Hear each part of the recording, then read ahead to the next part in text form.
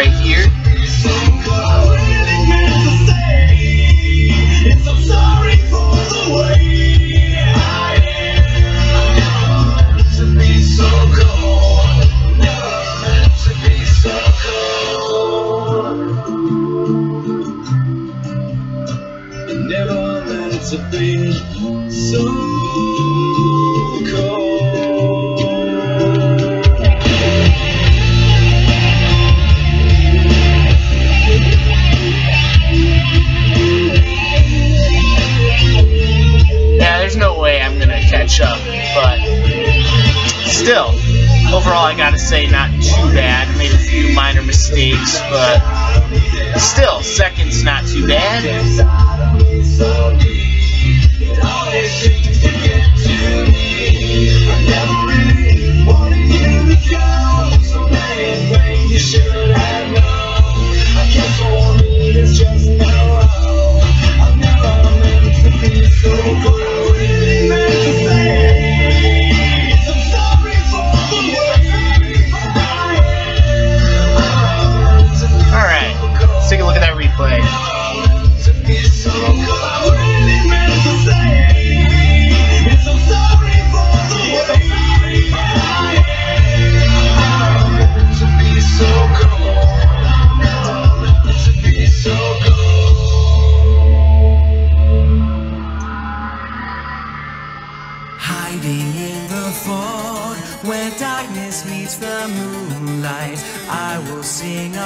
melody till the morning comes.